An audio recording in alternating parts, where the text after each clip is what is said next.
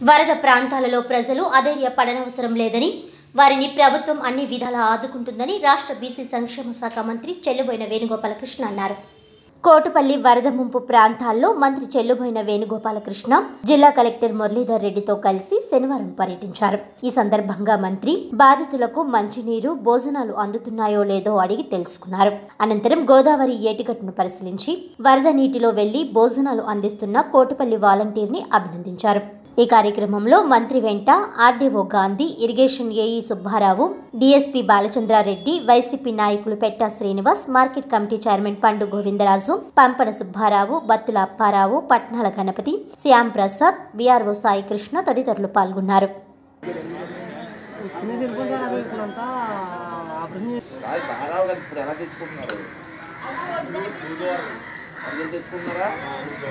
భోజనం? పంపుతున్నారా? పార్టీ చేసి పంపుతున్నారా మీ అబ్బాయి కూడా అంత మొత్తం.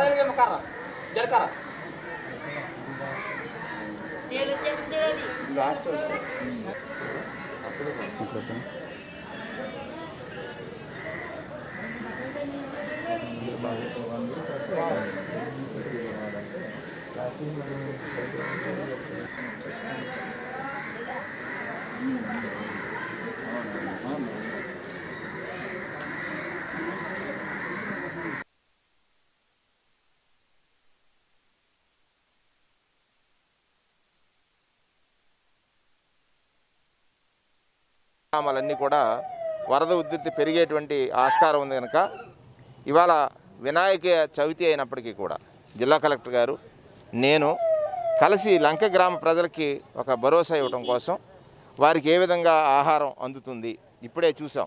ఇంచుమించుగా కొన్ని ఇళ్ళు ఇనాండేషన్ అయినాయి. నిన్ననే ప్రభుత్వం ఇచ్చినటువంటి సహాయం వారికి అందింది గత ఐదు ఐదు వేల రూపాయలు. అయినప్పటికీ కూడా వారికి ఎప్పటికప్పుడు ఈ ఇక్కడ యంత్ర ప్రభుత్వ యంత్రాంగం తరఫున ఏర్పాటు చేసినటువంటి ఫుడ్ ఏదైతే ఉందో భోజన వసతి అవన్నీ కూడా కలెక్టర్ గారు స్వయంగా వచ్చి చూశారు.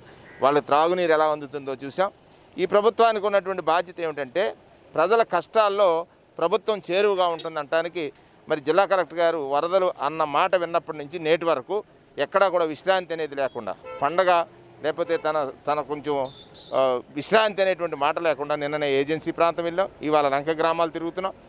ఒక్కటి ప్రజలు అర్థం చేసుకోవాల్సింది ఈ ప్రభుత్వం మీకోసం ఉంది మీ కష్టాల్లో మీ వెంట ఉంటుంది ఎక్కడ కూడా ఆందోళన చెందొద్దు.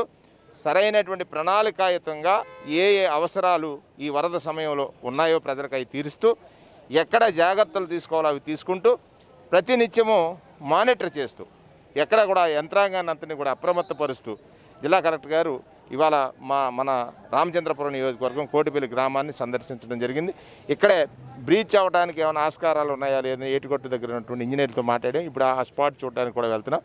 తదనంతరం ఇవాళ వారు రెండు చూస్తున్నారు. ఒకటి వరద రెండుది కోవిడ్. కోవిడ్కి సంబంధించినటువంటి ఆసుపత్రుల సందర్శన.